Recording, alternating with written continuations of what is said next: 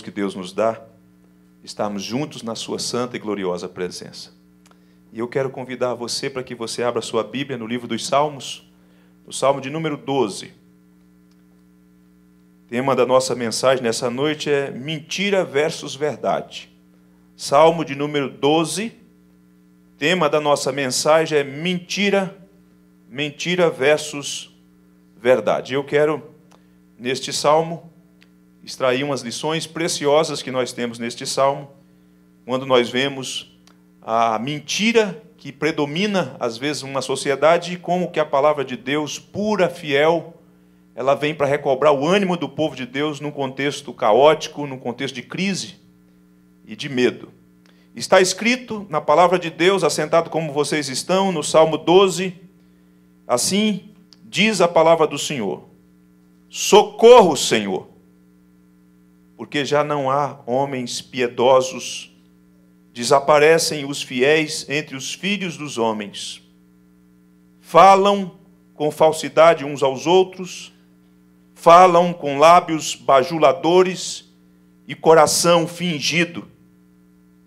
Corte o Senhor todos os lábios bajuladores, a língua que fala soberbamente, pois dizem: com a língua prevaleceremos, os lábios são nossos quem é Senhor sobre nós?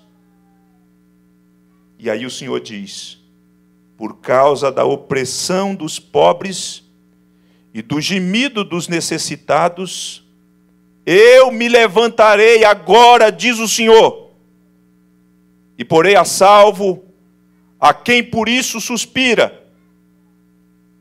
As palavras do Senhor são palavras puras, prata refinada em cadinho de barro, depurada sete vezes.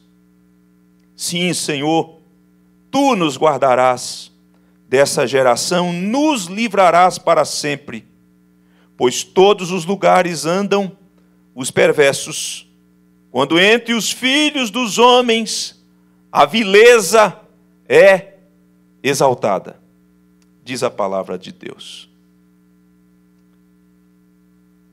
Meus irmãos, ah, certamente, ah, se não todos, quase todos que aqui estão, viram as cenas daquele prédio que foi incendiado ah, na cidade de São Paulo.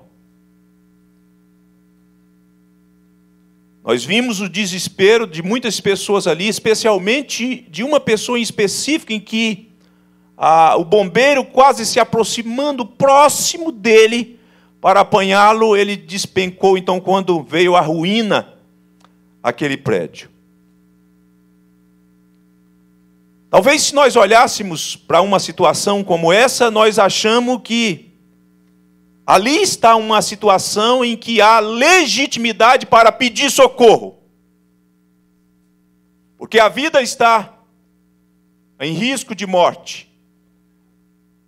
Ou quem sabe numa pessoa que está passando por um afogamento, certamente você já viu, talvez já presenciou em loco, pessoas que passam por uma situação e como elas debatem e faltando poucas palavras ou balbuciando algumas poucas palavras, pedem socorro. Socorro enquanto está submergindo e tendo ali o seu último ou pouco vigor para gritar por socorro. Mas talvez nós não paramos para pensar quando uma sociedade aí, numa outra situação, em que as verdades, ou a verdade de Deus, vai sendo atacada, vai sendo como que sufocada pela mentira. Ou quem sabe numa outra situação, quando numa determinada sociedade, o que impera num determinado momento é a injustiça ou quem sabe, no contexto social brasileiro, como nós vemos algumas vezes em alguns telejornais, em algumas matérias específicas, como adolescentes e crianças são exploradas sexualmente dentro do contexto de prostituição. E eu poderia elencar algumas outras mazelas que permeiam a sociedade e parece-me que nós vamos como que nos acostumando com elas. E aí, nós não pedimos socorro, porque elas começam a fazer parte da nossa vida, do nosso cotidiano, de modo sorrateiro. Eu não estou dizendo que quando uma pessoa está em apuros, não deve pedir socorro. Deve pedir socorro sim, deve gritar sim, deve implorar para que o auxílio venha, se a vida está em risco. Mas e quanto aos valores? E quanto aos bons costumes? E quanto às coisas que estão escritas na palavra de Deus e às vezes são esquecidas do povo de Deus, e nós não nos apercebemos da nocividade das coisas que ocorrem, que acontecem, que são faladas no meio da sociedade? Esse texto da palavra de Deus, esse salmo de lamento, o salmo de Davi, que provavelmente a maioria dos, dos intérpretes ou dos exegetas entendem que foi proferido uma oração de Davi por ocasião em que Saul estava perseguindo a Davi, em que Saul, na sua atitude maligna, ímpia, arregimenta homens para perseguir Davi, sem que Davi tivesse feito absolutamente nada, e é dentro desse contexto de homens maus, e que este homem se dirige a Deus esta oração e tem da parte de Deus resposta. Louvado seja Deus. Deus escuta o grito sincero de um homem e de uma mulher que se volta para ele porque entende que há coisas que não podem ser perdidas. Porque entende que as coisas que há coisas, há verdades que não podem ser negociadas que a verdade de Deus não pode ser sufocada e as pessoas comprometidas com isso, com os absolutos de Deus, gritam ao Senhor nosso Deus: socorro, Senhor, socorro, Senhor, socorro, Senhor. Neste salmo, meus irmãos, nesta oração do salmista, nesse salmo de lamento,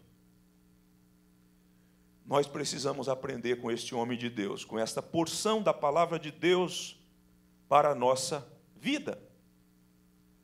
É bem verdade, e você deve concordar comigo, que toda geração, que em toda época, há algum tipo de pecado que é predominante numa sociedade. Eu não estou dizendo, e penso que você entende assim também, que não existem outros pecados que vão sendo praticados. Existem outros. Mas em determinados momentos, uma determinada geração, ela cultiva determinadas práticas de modo mais abundante. Por exemplo, nos dias em que Deus resolveu executar juízo contra aquela geração de Noé, o pecado, existiam muitos outros pecados, mas o capítulo 6 do livro do Gênesis dá conta que o pecado predominante era o pecado da violência dos homens. Ah, pastor, não existiam outros pecados? Existiam. Existia poligamia, existia mentiras, existia toda sorte de pecados, mas o pecado predominante naquele momento era a violência. O pecado do qual o salmista descreve aqui, é o pecado que envolve um dom precioso que Deus deu aos homens, meus irmãos e minhas irmãs.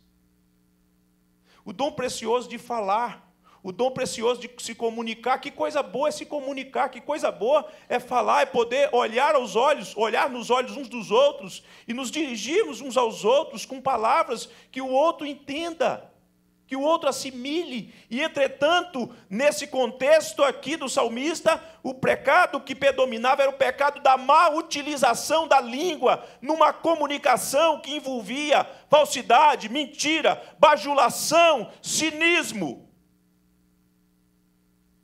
E este homem de Deus geme quando ele vê essa prática. Este homem de Deus geme e fica angustiado quando escuta no seu dia a dia essas muitas vozes que tentam abafar a voz de Deus e a verdade de Deus.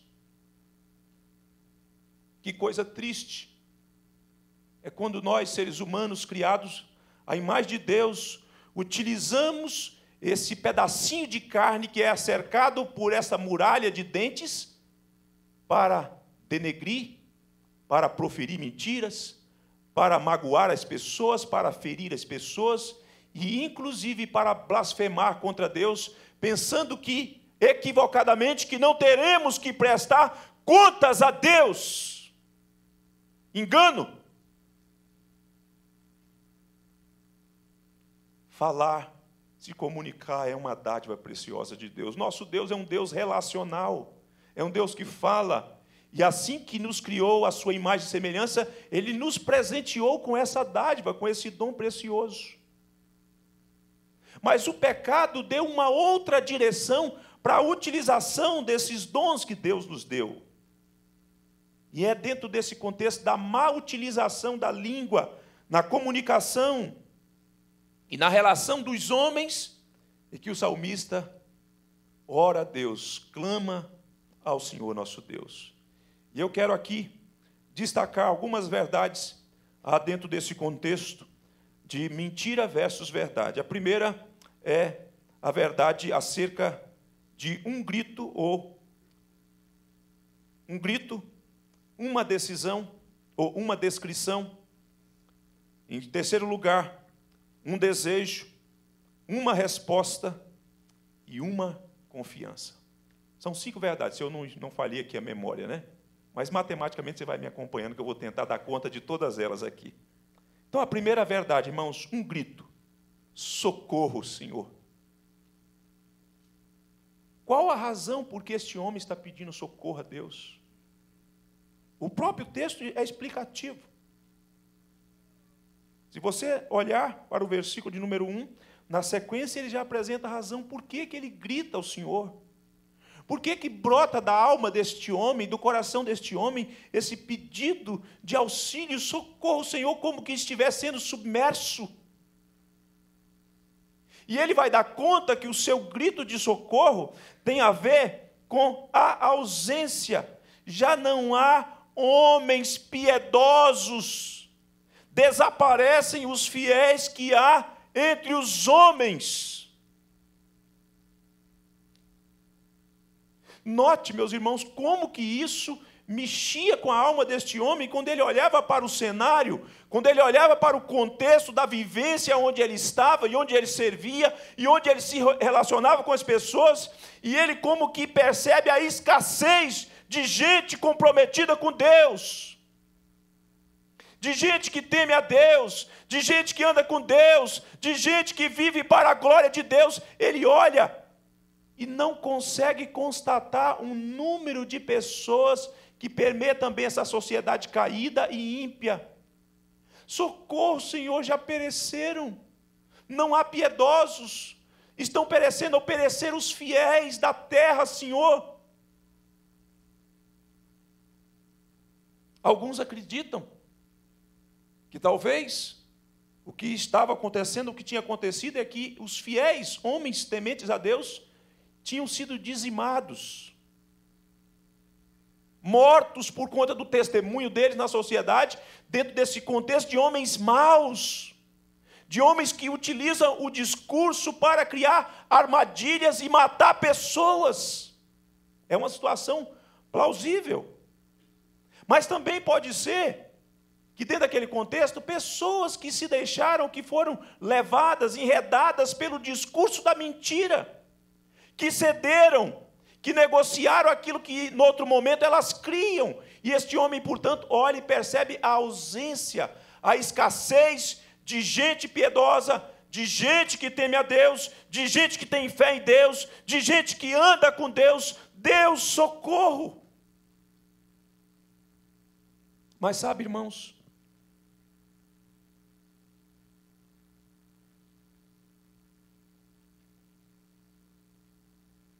dentro de uma aplicação, dentro do nosso contexto. É possível também a gente, dentro de uma sociedade pervertida, que está passando pelo processo da degradação moral, espiritual, de que existem piedosos de pessoas de fé, mas que tantas vezes resolvem ficar no anonimato. Estão me entendendo? Elas têm medo das retaliações, elas têm medo das perseguições, das perdas que isso pode acarretar, Porque exigir um posicionamento e uma firmeza diante de um contexto em que há o predomínio da mentira vai demandar ousadia, coragem, de que a pessoa vai ter que sair das sombras e assumir quem elas são, como testemunhas de Deus, como pessoas que têm uma identidade como filho de Deus. E talvez, no nosso contexto da sociedade brasileira, talvez não é porque exista a ausência de gente piedosa, de gente crente, os templos estão abarrotados, graças a Deus, louvado seja o Senhor.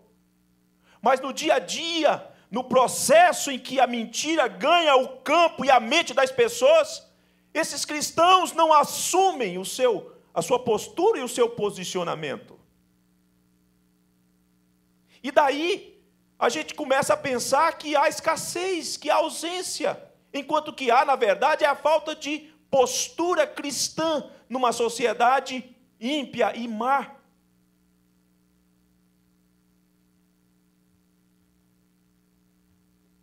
A filha do meu professor de teologia ingressou no curso de direito da UFMG, Universidade Federal de Minas Gerais, em Belo Horizonte. E no primeiro dia de aula, o professor ateísta mal, acolheu os alunos, se apresentou e sacou uma, uma pergunta: Alguém aqui é cristão? A forma como ele já havia se apresentado demonstrava o que ele iria fazer com aqueles que professassem a fé em Jesus em sala de aula. E sabe, meus irmãos, naquele ano saiu uma matéria que a população de cristãos da grande BH estava na casa de 28% eh, de cristãos. É muita gente. Em Belo Horizonte tem o que é chamado, conhecido de megas, mega igrejas. Inclusive uma presbiteriana.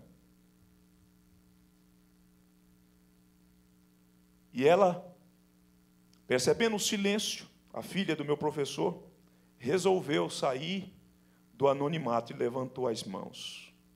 Eu sou crente. E aí vocês sabem o que acontece, né? O massacre, o rolo compressor, vem para tentar é, passar por cima, destruir. Mas aquela moça não abriu mão das suas convicções. E para o espanto dela, à medida que ela avançou no curso, ela descobriu que mais de 50% da sala em que ela estava matriculada era de cristãos professos, mas não tiveram a coragem de assumir quem eram naquele dia. Eu espero que Deus tenha misericórdia de nós, tenha misericórdia dos nossos filhos, para que nos dias que Deus nos dá, tem nos dado, para que na nossa história, na nossa geração, nós tenhamos coragem de assumir e dizer que nós somos da geração dos piedosos, que nós pertencemos à geração dos crentes, daqueles com os quais Deus fez uma eterna aliança. Socorro, Senhor,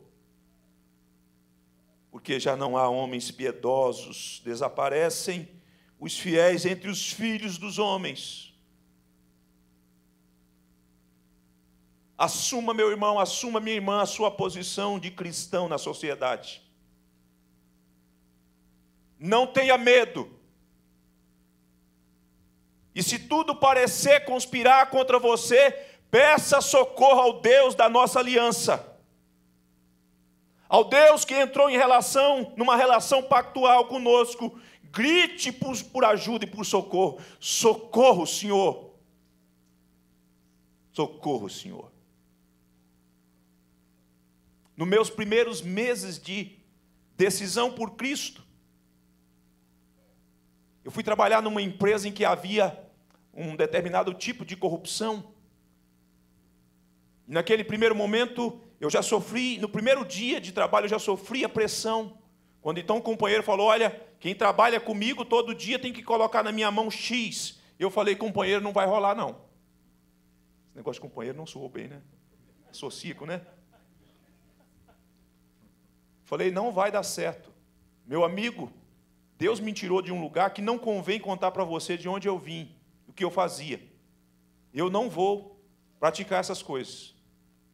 No outro dia, graças a Deus, eu fui levado para trabalhar com outra pessoa, mas a pressão não parou do mesmo jeito, a coisa estava, a engrenagem estava toda comprometida. Só que depois de um tempo, meus irmãos, eu tinha essa pressão externa, mas depois eu comecei a enfrentar uma pressão interna. Porque o meu coração, teimoso, pecador, começou a pensar na possibilidade também de tirar vantagem daquilo, depois de um tempo. E eu fui me enfraquecendo e fui sendo enredado, e essa voz da mentira tentando capturar que não tem problema, porque afinal todo mundo está envolvido, todo mundo participa, só você que vai ser exceção. E essa voz do diabo e essa voz da mentira começou a querer capturar a minha consciência. E um dia, pela manhã, numa madrugada, antes de ir para o trabalho, eu levantei-me e abri o texto da palavra de Deus na carta aos Hebreus, capítulo 2, versículo 18, quando então diz que Ele é poderoso para socorrer os que são tentados. E eu botei meus joelhos nos chãos, e abaixei minha fronte, e botei minha boca no pó, e falei: Socorro, Senhor. Não permita que eu negocie os valores do teu reino. Guarda-me e firma os meus passos. E eu que desci como um vaso frágil de pó e de barro, levantei-me como um guerreiro, porque senti que Deus me visitou naquela manhã e fortaleceu os meus músculos espirituais. É preciso, é preciso meus irmãos, gritar por socorro diante de tais situações. Mas eu preciso destacar uma segunda verdade aqui, que é a descrição desse cenário e das práticas que predominavam naquele contexto. Versículo 2 e versículo de número 8 diz assim: Falam com falsidade uns aos outros, falam com lábios bajuladores e coração fingido. Versículo 8 diz assim: por todos os lugares andam os perversos, quando entre os filhos dos homens a vileza é exaltada. Note, portanto, que o pecado que predominava, que permeava a sociedade, era este que já mencionei lá atrás, que envolvia a comunicação, a fala. Quando nas suas relações interpessoais, estes homens usavam seus lábios e a sua língua para proferir falsidade uns contra os outros, é daqui para lá, de lá para cá, era uma pista de mão dupla.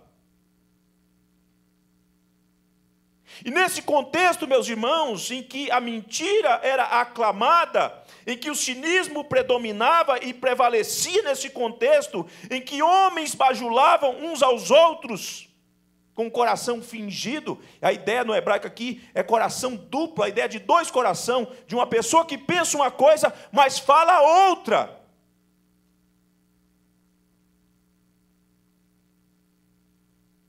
Em que se engana e é enganado. O salmista vai dizer no versículo de número 8 que eles andam por todos os lugares como que andam vagueando transitando daqui para ali, dali para colar, em todos os segmentos, em todas as matizes da sociedade, lá estavam eles, os perversos, que tinham como vício, como prática, a mentira, opondo-se à verdade e enredando a mente das pessoas. E quem é que mais sofre com esse tipo de coisa, irmãos? São os pobres, são os fracos, o texto dá conta. Muito embora eu penso que a ideia aqui de pobres e fracos não deve ser olhada apenas do ponto de vista social, econômico, socioeconômico.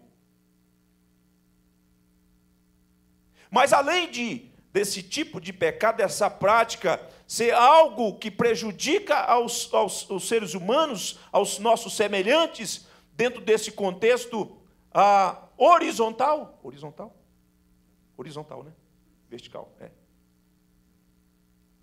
Mas também, esse tipo de coisa, esse tipo de, de pecado, conquanto ele traga prejuízo nessa esfera social, ele é uma clara oposição à santidade de Deus daquele que doou o dom da comunicação. E essas pessoas, na sua arrogância, embora ah, o texto será utilizado para o nosso terceiro ponto, eles chegam a dizer, como que o salmista parafraseando o que eles diziam, pois dizem com a língua prevaleceremos, os nossos lábios, com a língua prevaleceremos, os lábios são nossos. Quem é Senhor sobre nós? É uma clara demonstração também de agressão e de rejeição do senhorio de Deus. Elas pensam que o que elas falam, que o que elas pronunciam, não serão levados em contas diante do juiz de Deus. Os lábios são nossos. E daí? Quem é Senhor sobre nós, sobre a nossa conduta, sobre o que pensamos e falamos? Nós somos senhores do nosso próprio destino e da nossa própria vida. Engano? O Senhor Jesus diz que de toda palavra frívola o Senhor vai pedir conta. Vai pedir conta. Cuidado com os teus lábios, meus irmãos. Um alerta para nós que somos crentes em Jesus. Cuidado com a utilização da sua língua. Mas o salmista faz essa descrição destes homens perversos que andam por todos os segmentos da sociedade, e no meio desses muitos homens da humanidade ou da sociedade, diz aí o texto: quando entre os filhos dos homens a vileza é exaltada.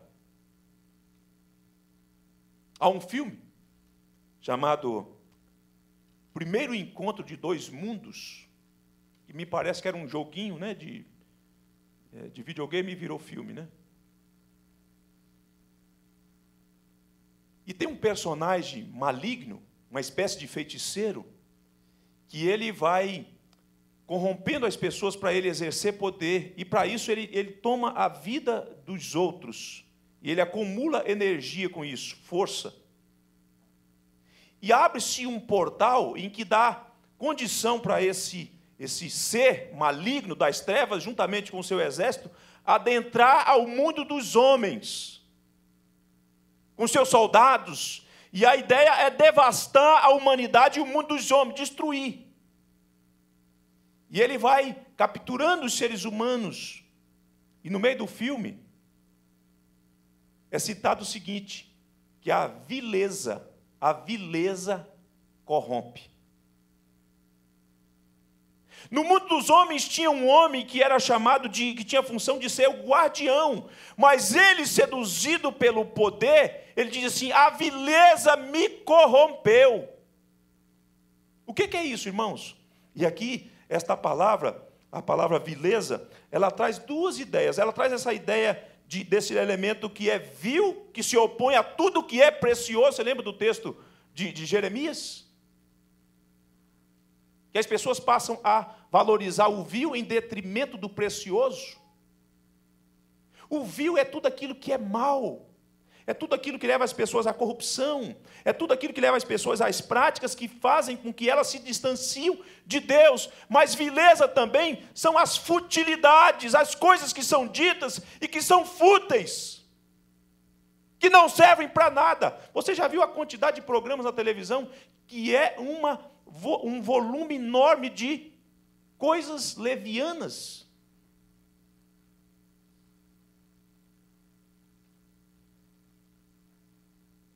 Luciana Ximenes. Já assistiu um pedacinho do programa? É uma porcaria. É um vazio, uma mulher que quer passar a ideia de intelectualidade, coisíssima nenhuma, e as pessoas ficam achando que aquilo é o símbolo da intelectualidade brasileira. Bobagem! Só futilidade. Você pensa que o pastor só vê teologia? De vez em quando ele está mudando os canais lá, estão passando lá entrevista com, com isso, com aquilo outro, só futilidade, vileza. E sabe o que acontece, meus irmãos? O que, é que diz o texto? Não é parecido? Parece que é um cenário nosso.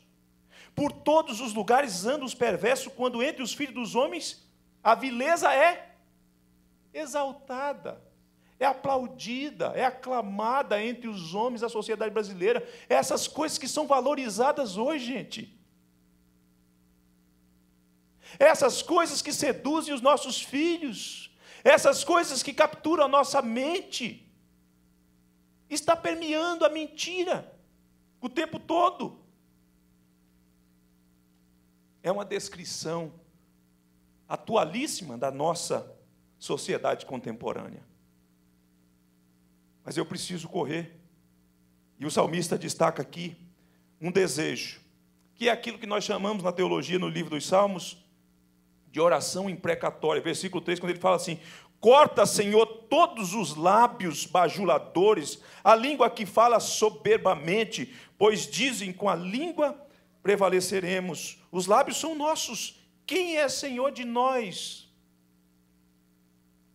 Então o salmista faz uma oração imprecatória. Este homem que vela pela a verdade de Deus, esse homem que vela pela justiça de Deus, pela santidade de Deus, ele faz uma oração: Deus, decepa a língua dessas pessoas. Como que naqueles países que existem, né, que às vezes a pena é essa, né? Corta esse pedaço de carne que faz tanto mal, né? Por outras razões, né? Aqui é por conta das coisas de Deus Talvez é uma linguagem que você olha assim, mas isso é duro demais, pastor. Mas você acha que com o retorno do Senhor Jesus Cristo, o que acontecerá com os ímpios que pensavam que essas, esse ajuste de contas, esse acerto de contas não aconteceria? Ele vai fazer muito pior do que cortar a língua, ele vai decepar os homens. Com o sopro da sua boca, ele vai matar a todos eles.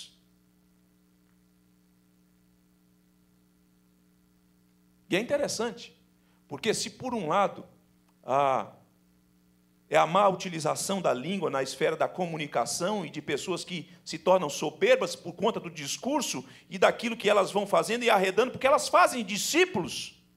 Por outro lado, é a utilização também da boca que Deus vai usar para sentenciar e condenar os ímpios. Porque não pensem vocês que quando está falando que a palavra que vai sair da boca do Senhor não é uma, uma, uma coisa literal, é nessa ideia da palavra de sentença para os ímpios. Se fala de modo equivocado e de modo pernicioso, Deus, na sua fala pura e santa, vai punir aos pecadores. Corta, Senhor, acabe com eles. É muito comum você encontrar nos Salmos essa linguagem que o salmista às vezes utiliza. Por exemplo, no Salmo 3 tem um momento que ele fala assim: dá um soco no queixo deles e um gancho de direita. Joga o sujeito na lona. Mas é dentro desse contexto, meus irmãos, de grito, de descrição, de oração, em que Deus se levanta em que Deus escuta o grito do salmista, e portanto nós vemos aí no versículo de número 5, porque diz assim: por causa da opressão dos pobres e do gemido dos necessitados, eu me levantarei agora. Este advérbio, ele traz a ideia o seguinte, que era uma situação que já vinha acontecendo já por algum tempo. Mas é interessante você notar que este se levantar agora dentro do contexto da ação de Deus no exato momento, é interessante que é em resposta à oração. Meus irmãos, Deus é soberano. Ele é livre para fazer o que quiser, mas muitas coisas Deus resolveu fazer em resposta à oração do seu povo. A Bíblia dá conta dessa unidade o tempo todo. Nós não podemos ver o cenário brasileiro em que impera a impiedade, a corrupção e todas as mais-elas que aqui já pontuei e ficarmos calados. É preciso orar, é preciso pedir, Deus, visite o nosso povo, visite a nossa nação, endireita a nossa história. E pode ser que Deus resolva dizer, por causa dos fracos, por conta daqueles que são tripudiados, por conta daqueles que são injustiçados, por conta do meu povo que clama e chama pelo meu nome, eu me levantarei agora.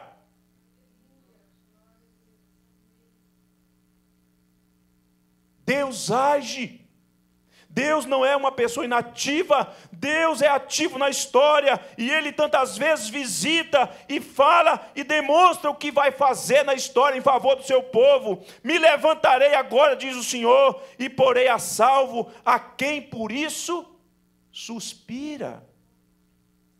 Como é que começa o salmo? Senhor, socorro, Senhor. Faltam homens piedosos, faltam homens fiéis. Meus irmãos, quando o nosso coração almeja as coisas de Deus, Deus responde. Quem deseja ver os fiéis se despontando, os fiéis assumindo a postura que tem que assumir, com que a verdade de Deus seja levada a sério, Deus fala: Eu estou nesse negócio, conte comigo, vocês não estão sozinhos, eu me levantarei. E quem é que vai ser colocado a salvo nessa geração pervertida? Aqueles que almejam essas coisas. O problema, o problema, meus irmãos, é que tantas vezes nós almejamos as nossas próprias coisas. Nós até temos uma vida religiosa palpável, visível, mas na verdade nós somos interessados nas nossas próprias coisas, nos nossos próprios bens, naquilo que é meu, naquilo que é nosso. Mas aqui, este homem está orando e pedindo socorro porque ele leva em conta as coisas de Deus, antes das minhas, as coisas do Senhor. E Deus fala: já que é assim, já que as aspirações da alma de vocês são essas verdades, portanto, não se perderá no meio dessa geração, não. Eu porei a salvo, eu manterei íntegro, não se corromperá, não será capturado por esses discursos mentirosos. E aí, vem o texto quando o salmista então faz o contraste, por isso meu tema, mentira versus verdade, quando ele fala assim: as palavras do Senhor são palavras puras. Prata refinada em cadinho de barro, depurada sete vezes, ela é totalmente distinta das palavras dos homens.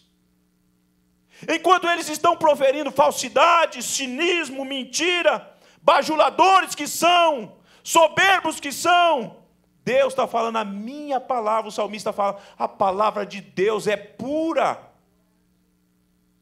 Confie na palavra de Deus. Enquanto as palavras dos homens querem sufocar, a palavra de Deus sai como a luz e dissipa as trevas. E traz brilho de novo, esclarecimento para as mentes dos homens que até então estavam sendo enredados, enganados pelo diabo. Ela é pura, ela é refinada. Ela é muito mais valiosa do que o metal precioso, aqui no caso a prata, que passou por depuração, removendo as impurezas. Ela está muito acima disso, pode confiar, se apegue à palavra de Deus. E aí o salmista destaca aqui, se eu não me pedir, a quinta lição, que é a confiança. Já que Deus se levanta, já que Deus age, já que Deus fala, já que Deus agora refreia o ímpeto da malignidade da fala do homem, o salmista, então, no versículo 7, sim, Senhor, tu nos guardarás. Deus está falando, eu vou me levantar e vou pôr a salvo quem deseja isso. Aí o salmista descansa o coração, ele que começa com um grito, agora está envolvido por uma confiança, agora tem segurança, agora pode dizer: sim, Senhor, eu creio nisso, tu nos guardarás, porque a tua palavra é refinada, é pura. E o que o Senhor falou é verdade, absolutamente verdade. E desta geração maligna, desta gera, dessa geração que aplaude a mentira, dessa geração que exalta a vileza, o Senhor vai nos guardar dela e nela. Nós não vamos nos sucumbir nem nos perder. Mas não é porque somos melhores do que os outros, não. É porque Deus falou: eu vou me levantar e vou guardar, vou botar vocês a salvo. Os pés de vocês não vão ficar no lamaçal, os pés de vocês serão mantidos na rocha da salvação. Todos vocês que desejam isso, isso tem a ver com o meu caráter, tem a ver com a minha verdade, vocês estão assegurados. que vocês serão mantidos. Mas salvo. O salmista está com o coração agora, ele que começa gritando, que começa com gemido, seu coração está envolto por essa verdade. Deus preserva no presente e nos dá a garantia certa do futuro, meus irmãos. Nos põe a salvo hoje e nos manterá a salvo até a volta do nosso amado, glorioso Salvador Jesus Cristo. É Ele. Disse o Senhor Jesus Cristo. As minhas ovelhas ouvem a minha voz eu as conheço e elas me seguem. Eu lhes dou a vida eterna e jamais perecerão, porque ninguém, ninguém poderá arrancá-las das minhas mãos. É preciso orar, é preciso gritar, mas é preciso, em consonância à resposta de Deus, descansar o coração e aquietar-se na presença do Senhor, nosso Deus. Faltam poucos dias, meus irmãos. E se não me engano, na próxima semana você vai ver, com raríssimas exceções, obviamente, não posso generalizar. Seria injusto assim fazer. Mas se não me engano, na próxima semana começará os discursos dos políticos. A utilização massiva do sofisma.